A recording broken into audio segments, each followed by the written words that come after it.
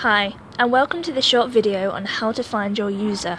On the left hand side, you will see a menu. Click on Clients and then Business User. Type your name into the search box and click on your name. This will then take you to your profile. Thank you for watching.